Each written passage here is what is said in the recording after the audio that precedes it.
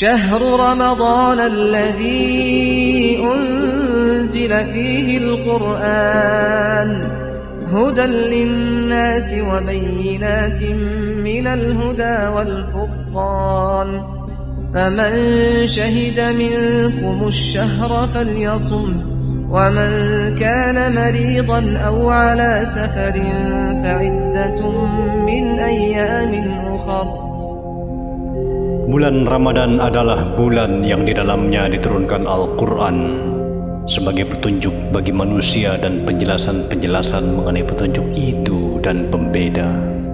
Karena itu, barang siapa di antara kamu ada di bulan itu, maka berpuasalah.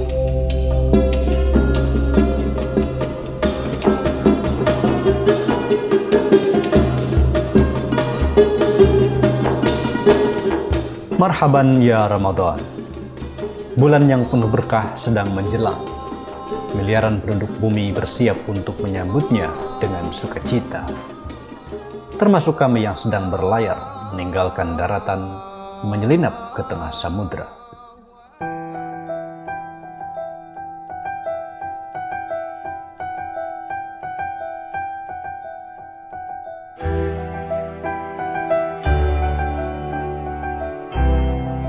Di tahun 2019, bagi penduduk bumi di sekitar Katulistiwa, hari pertama Ramadan akan jatuh pada hari Minggu tanggal 5 Mei.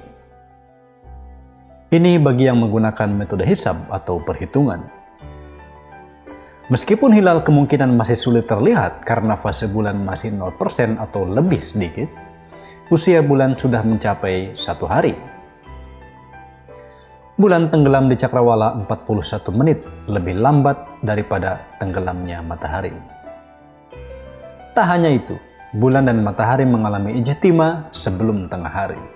Bulan berembang atas 32 menit setelah meridian passage matahari. Bagi yang berpegang pada metode ru'yat atau penglihatan, hari Senin tanggal 6 Mei sudah bisa dipastikan sebagai awal Ramadan. Pada hari itu, fase bulan 3% sehingga akan lebih mudah dilihat. Bulan tenggelam di cakrawala 1 jam 33 menit lebih lambat daripada sunset dan keduanya mengalami ijtima jauh sebelum zuhur. Usia bulan sudah mencapai dua hari. Meskipun begitu, terdapat kemungkinan juga baik yang memakai metode hisab maupun ru'yat akan sepakat memulai puasa pada hari Minggu tanggal 5 Mei mengingat bulan tenggelam 41 menit setelah sunset. Ini waktu yang cukup lama untuk pengamatan hilal, meskipun fase bulan hanya sedikit lebihnya dari 0%.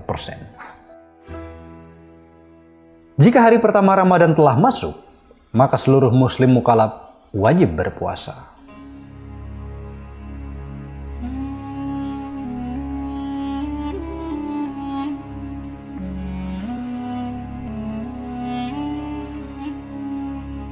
يا أيها الذين آمنوا كتب عليكم الصيام كما كتب على الذين من قبلكم لعلكم تتقون Hai orang-orang yang beriman, diwajibkan atasmu berpuasa sebagaimana telah diwajibkan atas orang-orang sebelummu, agar kalian bertakwa. Puasa dimulai sejak fajar hingga tenggelamnya matahari sebagaimana firman Allah وكلوا واشربوا حتى يتبين لكم الخيط الأبيض من الخيط الأسود من الفجر ثم أتموا الصيام إلى الليل Makan dan minumlah hingga jelas bagimu perbedaan antara benang putih dan benang hitam, yaitu fajar. Kemudian sempurnakanlah puasa sampai datangnya malam. Kapan tepatnya waktu fajar? Menurut Dr. Kasim bin Bahali, Mufti Negeri Malaka, Malaysia, waktu fajar bertepatan dengan saat matahari berada pada posisi 20 derajat di bawah cakrawala. Artinya, 9 menit waktu sebelum senja astronomis di pagi hari. Senja astronomis disebut juga astronomical twilight di mana matahari berada pada posisi 18 derajat di bawah cakrawala. Fajar terjadi 9 menit sebelum ini. Terdapat dua jenis senja atau twilight, yaitu senja pagi dan senja sore. Masing-masing senja ini terbagi menjadi tiga fase, senja astronomis, senja nautis, dan senja sipil. Ketiganya dikenal dengan istilah astronomical twilight, nautical twilight, dan civil twilight. Zona astronomical twilight terjadi ketika matahari berada 18 sampai 12 derajat di bawah cakrawala Zona nautical twilight terjadi ketika matahari berada 12 sampai 6 derajat di bawah cakrawala. Sedangkan zona sipil terjadi ketika matahari 6 derajat di bawah cakrawala sejak sunset atau 6 derajat di bawah cakrawala sampai sunrise. Terdapat perbedaan horizon yang dipakai sebagai referensi sunset dan sunrise dengan horizon yang dipakai sebagai referensi senja atau twilight. Sunset dan sunrise diukur terhadap horizon yang terlihat, sementara twilight diukur terhadap horizon geoidal. Pada umumnya, waktu sunset diakui sebagai waktu maghrib. Meskipun sebenarnya terdapat perbedaan antara keduanya jika memakai paradigma yang dipakai saat ini seperti yang difatwakan oleh Dr. Kasim bin Bahali. Sunset diukur terhadap cakrawala yang terlihat dari permukaan laut, sedangkan maghrib diukur terhadap cakrawala yang terlihat dari tempat pengamat. Ini mengakibatkan terdapat perbedaan waktu maghrib bagi pengamat yang berada pada posisi yang sama namun dengan ketinggian berbeda.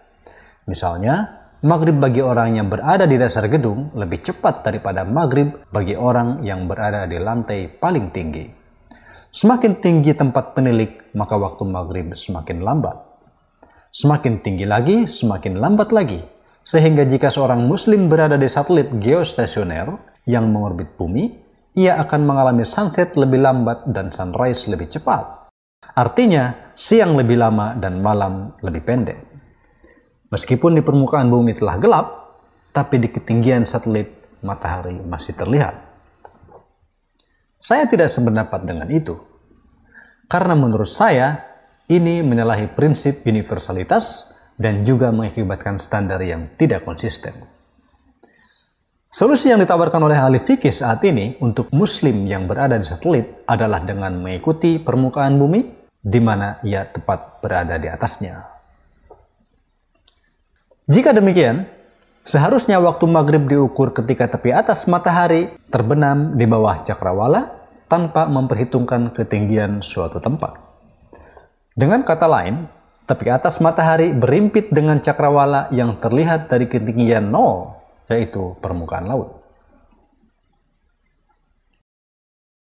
Jika seseorang masih melihat matahari dari tempat yang lebih tinggi, padahal ia tidak bisa melihatnya andai berada di permukaan laut, maka ia telah mengalami maghrib. Sebaliknya, jika seseorang berada di bawah permukaan laut, tidak bisa melihat matahari, ia belum mengalami maghrib jika matahari masih akan terlihat seandainya dia berada di permukaan laut. Cakrawala yang terlihat dari permukaan laut inilah yang dipakai ukuran sunset dalam navigasi astronomi di laut. Cakrawala ini disebut visible horizon, di mana ia berada pada posisi 34 menit busul derajat lebih rendah daripada ideal horizon atau geoidal horizon akibat adanya penundukan tepi langit maya sebagai konsekuensi dari refraksi astronomis dan refraksi bumiawi. Apa itu cakrawala? Ketika seseorang berdiri di atas permukaan bumi, ia akan memiliki beberapa cakrawala. Yang pertama adalah cakrawala yang dirasa atau sensible horizon. Kedua, geometrical horizon atau cakrawala geometris, yaitu garis lurus yang ditarik menyinggung permukaan bumi tanpa adanya refraksi. Ketiga, observer visible horizon, yaitu cakrawala yang terlihat oleh pengamat akibat adanya penundukan tepi langit maya atau refraksi. Keempat, celestial horizon atau cakrawala angkasa atau cakrawala sejati. Kelima, geoidal horizon atau cakrawala ideal yang diukur dari permukaan laut tanpa penundukan tepi langit maya. Yang keenam, visible horizon atau cakrawala yang tampak dari permukaan laut akibat adanya penundukan tepi langit maya atau refraksi. Waktu maghrib yang dipakai hari ini diukur terhadap observer visible horizon yang menurut saya tidak universal karena beda ketinggian pengamat, beda pula cakrawalanya. Bahkan, jika semakin tinggi lagi, matahari akan tetap terlihat meskipun di permukaan bumi yang lurus di bawahnya sudah gelap. Seharusnya patokan maghrib adalah visible horizon, sehingga meskipun matahari masih terlihat dari ketinggian, maghrib telah masuk karena matahari telah berada di bawah visible horizon. Terdapat tiga waktu yang sangat penting dalam bernavigasi sekaligus dalam penentuan waktu sholat dan puasa, yaitu waktu sunrise, sunset, dan merpas. Allah berfirman, أقم الصلاة لدلوك الشمس إلى غسق الليل وقرآن الفجر إن قرآن الفجر كان مشهودا Laksanakanlah salat sejak matahari tergelincir sampai gelapnya malam. Dan laksanakan pula salat subuh. Sungguh salat subuh itu disaksikan oleh malaikat. Ayat tersebut menjelaskan terdapat setidaknya tiga patokan waktu salat, yaitu tergelincirnya matahari, terbenamnya matahari, dan terbitnya fajar. Yang pertama, tergelincirnya matahari.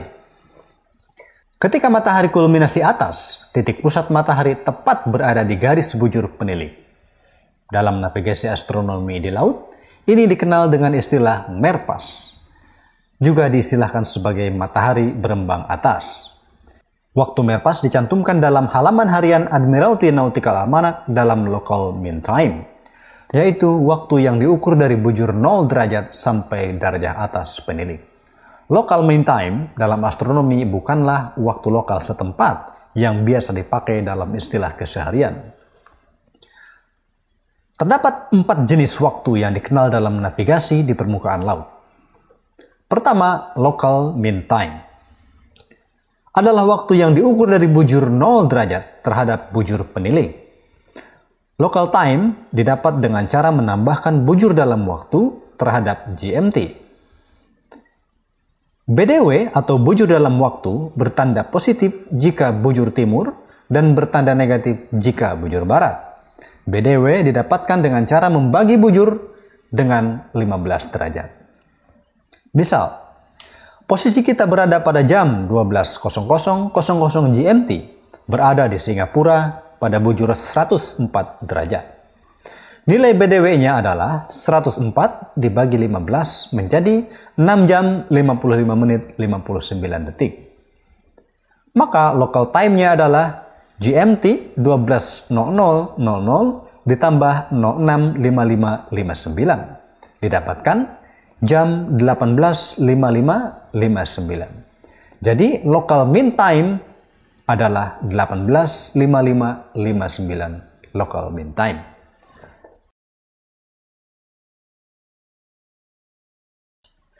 Kedua, zone mean time. Permukaan bumi dibagi menjadi 12 zona barat dan 12 zona timur.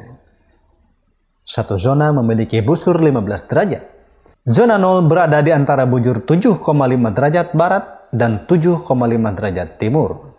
Untuk mendapatkan zone, bujur penilik ditambah 7,5 derajat kemudian dibagi 15. Hasilnya diambil jam bulat. Misalnya didapat 5,9 maka masuk zona 5. Misal, posisi kita pada jam 12.00 GMT berada di Singapura pada bujur 104 derajat. Sama seperti contoh yang pertama. Kita berada pada zona berapakah? Caranya, bujur kita 104 derajat ditambah 7,5 derajat menjadi 111,5 derajat. Kemudian dibagi 15 didapat 7,4 333. Angka tersebut diambil jam bulatnya saja didapat angka 7. Artinya, kita berada pada zona 7. Dengan demikian, zone mean time kita adalah 12.0000 GMT ditambah 070000 menjadi 19.00. Jadi waktu kita adalah 19.00 zone mean time. Ketiga, standard time adalah waktu standar yang ditentukan oleh pemerintah setempat. Misalnya, posisi kita pada jam 12.00 GMT berada di Singapura pada bujur 104 derajat. Pemerintah Singapura menetapkan standar time mereka sebagai GMT plus 8. Maka waktu standar kita adalah 12.00 GMT ditambah 08.00 didapat waktu kita pukul 20.00 SST atau Singapore Standard Time. Yang keempat, di atas kapal terdapat lagi waktu yang ditentukan oleh kapten kapal yang disebut dengan WMK atau waktu menengah kapal atau sering disebut ships local time. Waktu ini bisa saja sama dengan zone time maupun standard time, tapi bisa juga berbeda. Ini dikarenakan kapal berpindah dari satu tempat ke tempat yang lainnya. Misal, pada jam 12.00 GMT, jam kapal menunjukkan pukul 18.00 ships local time. Ia memakai waktu GMT plus 6. Kapal berada di perairan Singapura, bujur 104 derajat timur. Kapten memutuskan untuk tidak mengubah jam kapal karena kapal bakal segera kembali ke zona 6 di lautan. Maka waktu kapal tetap pukul 18.00 ships local time. Perhatikan contoh di atas. Pada saat yang sama dan tempat yang sama, kita memiliki empat waktu yang berbeda, yaitu 18.5559 local mean time, 19.0000 zone mean time, 20.0000 Singapore Standard Time, dan 18.0000 ships local time. Demikianlah perbedaan keempat jenis waktu di atas kapal. Kembali ke Merpas. Untuk mengetahui Merpas berdasarkan waktu menengah kapal, Bukalah halaman harian Nautical Almanac bagian kanan di pojok kanan bawah. Ambillah waktu merpas untuk tanggal yang diperlukan. Sebagai contoh, pada tanggal 26 April 2019, kapal berada pada bujur 126 derajat 13.349 menit timur.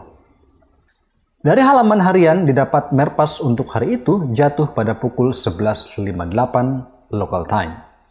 Pada jam berapakah matahari kulminasi atas berdasarkan waktu kapal? Pertama, dapatkanlah bujur dalam waktu dengan cara membagi bujur 126 derajat 13.349 menit dengan angka 15. Didapatkan BDW 9 jam 17 menit 24 detik. Kemudian dapatkan GMT dari Merpas dengan cara waktu Merpas dalam local time dikurangi BDW. Maka didapat GMT 024036. Setelah didapatkan GMT, ubahlah waktu tersebut ke dalam waktu kapal dengan cara menambah GMT dengan zona waktu kapal. Misalnya, zona waktu kapal 9 maka didapat matahari kulminasi atas pada pukul 11.40.36 waktu kapal. Jam berapakah waktu zuhur? Waktu zuhur tidaklah sama dengan waktu merpas. Merpas adalah waktu ketika titik pusat matahari berada pada bujur penilik. Sedangkan waktu zuhur adalah ketika seluruh badan matahari telah melewati bujur penilik. Inilah yang disebut dengan duluk atau tergelincirnya matahari. Jarak dari titik pusat matahari ke pinggirnya disebut dengan semi diameter yang jika diukur dari bumi nilainya sebesar 16 menit busur derajat. Jika 360 derajat sama dengan 24 jam, maka 16 menit busur derajat sama dengan 1 menit 4 detik waktu. Dengan demikian, waktu zuhur adalah 1 menit 4 detik setelah merpas. Itu yang pertama, tergelincirnya matahari. Yang kedua, Waktu yang penting dalam navigasi dan sholat adalah ghosyakil lail atau datangnya malam. Saat datangnya malam disebut maghrib. Tapi waktu maghrib yang saya pakai bukanlah waktu maghrib yang dilihat oleh penilik sebagaimana pada umumnya digunakan hari ini, melainkan waktu maghrib yang dilihat dari permukaan laut seperti yang telah saya jelaskan tadi. Bisa saja kita masih melihat matahari dari gunung, padahal sebenarnya kita telah masuk di waktu maghrib. Waktu ketika tepi atas matahari berada di bawah cakrawala yang dilihat dari permukaan laut inilah yang disebut sunset dalam navigasi astronomi di laut, bukan yang dilihat dari tempat penilik jika berada pada ketinggian tertentu. Untuk mengetahui waktu sunset di kapal, berikut ini contohnya. Pada tanggal 26 April 2019, kapal berada pada lintang 36 derajat, 11.144 menit utara, dan bujur 126 derajat, 13.349 menit timur. Jam berapakah sunset akan terjadi berdasarkan waktu kapal? Bukalah halaman harian untuk tanggal tersebut. Kemudian lihat kolom sunset dan ambillah dua waktu sunset pada lintang yang terdekat. Dalam hal ini, lintang 35 derajat utara dan lintang 40 derajat utara yang masing-masing memiliki waktu sunset 1841 dan 1849. Untuk mendapatkan sunset pada lintang 36 derajat 11.144 menit, maka diperlukan interpolasi. Untuk melakukan interpolasi bisa dua cara, cara grafis dan cara hitungan. Cara grafis. Buatlah garis poros vertikal dan horizontal. Yang vertikal untuk lintang dan yang horizontal untuk waktu. Kemudian tuliskan lintang dan waktu yang kita ambil Pasangkan keduanya, kemudian tarik garis linear. Dengan skala yang benar, maka akan didapat waktu sunset pada posisi lintang yang diinginkan. Jika dengan hitungan, maka hitunglah perbedaan lintang yang diambil, dalam hal ini 5 derajat, kemudian perbedaan waktu dalam hal ini 8 menit. Lalu, ambil selisih lintang setempat dengan lintang terkecil yang diambil, Selisihnya didapat 1 derajat 11.144 menit. Kemudian selisih tersebut dibagi 5 derajat dan dikalikan 8 menit waktu. Didapat 1 menit 54 detik. Jika pada lintang 35 derajat sunset terjadi pada pukul 18.41, maka pada lintang 36 11 144 terjadi 1 menit 54 detik setelahnya. Jadi, sunset pada tempat tadi terjadi pukul 18.4254 local time. Ingat, itu dalam local time. Kita perlu mengubahnya kembali kepada waktu kapal. Caranya, carilah BDW. Kemudian, kurangkan terhadap waktu sunset yang didapat dalam local time, maka didapat GMT. Tambahkanlah zona yang dipakai oleh kapal, maka didapat sunset berdasarkan waktu kapal. Lagi-lagi, tenggelamnya matahari di permukaan laut tempat tersebut bukanlah waktu maghrib untuk tempat itu. Bisa saja matahari sudah tenggelam di permukaan laut di suatu tempat, tetapi belum maghrib. Sebaliknya, bisa saja matahari masih terlihat terang benderang di suatu tempat, padahal waktu maghrib telah tiba. Artinya, bisa saja seseorang berbuka puasa meskipun matahari belum tenggelam di tempat tersebut. Bahkan matahari masih tinggi. Waktu sunset setempat tidak bisa dijadikan patokan waktu maghrib. Mari lihat kembali contoh yang terakhir. Tadi kita tahu sunset di tempat tersebut dengan lintang 36 derajat 11.144 menit utara terjadi pukul 18.42.54 local time. Padahal di lintang Katulistiwa pada bujur yang sama sunset terjadi pada pukul 18.01.00 local time. Maka, waktu maghrib untuk tempat tadi tetap pukul 18.01.00 meskipun matahari baru bakal tenggelam 42 menit kemudian. Artinya, Muslim yang berpuasa di tempat tersebut boleh berbuka puasa 42 menit sebelum matahari tenggelam di tempat tersebut. Kok bisa demikian? Mari pertimbangkan ini. Tanggal 3 Juni 2019 mungkin hari terakhir bulan Ramadan. Kota-kota di dunia seperti Moskow, Warsawa, Berlin, Bremerhaven, London, dan kota-kota lain di Denmark, Sweden, dan Norway akan mengalami senja sepanjang malam. Artinya, remang-remang sepanjang malam. Boleh dikatakan tidak mengalami malam yang sebenarnya. Puncak senja sore adalah waktu Isya. Maka masuknya waktu Isya bersamaan dengan masuknya waktu subuh. Artinya, muslim yang tinggal di kota-kota tersebut hanya memiliki waktu makan rata-rata hanya dua jam. Bahkan di Norway, jarak waktu maghrib ke subuh bisa hanya setengah jam. Pertimbangkan hal yang lainnya.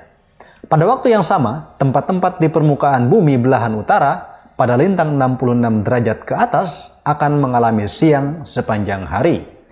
Artinya matahari tidak pernah tenggelam. Tidak ada sunset di tempat tersebut. Lantas, apakah tidak ada maghrib di tempat tersebut? Jelas ada. Maghrib tetap ada. Isya pun tetap ada. Sekali lagi, maghrib tetap ada meskipun matahari tidak tenggelam. Jadi jelas, sunset di suatu tempat tidak ada hubungannya sama sekali dengan waktu maghrib. Di belahan bumi yang lain, di waktu yang lain, ada tempat-tempat yang mengalami malam sepanjang hari. Tidak ada fajar, tidak ada siang. Lantas, apakah tidak ada subuh? Apakah tidak ada zuhur di tempat tersebut? Jelas ada, tapi tidak berpatokan pada kedudukan matahari yang dilihat dari tempat tersebut. Kesimpulan besarnya adalah matahari yang terlihat dari lokasi setempat tidak dapat dijadikan patokan waktu puasa maupun sholat. Sunset tidak bisa dijadikan patokan maghrib. Merpas tidak bisa dijadikan patokan zuhur, dan senja setempat tidak bisa dijadikan patokan waktu fajar. Penentuan waktu puasa dan sholat yang digunakan saat ini sudah waktunya ditinjau ulang. Lantas mengapa paradigma yang dipakai saat ini tidak tepat? Apa dalilnya? Lalu bagaimana cara menentukan waktu sholat dan puasa yang seharusnya? Kita lanjutkan di video yang lainnya.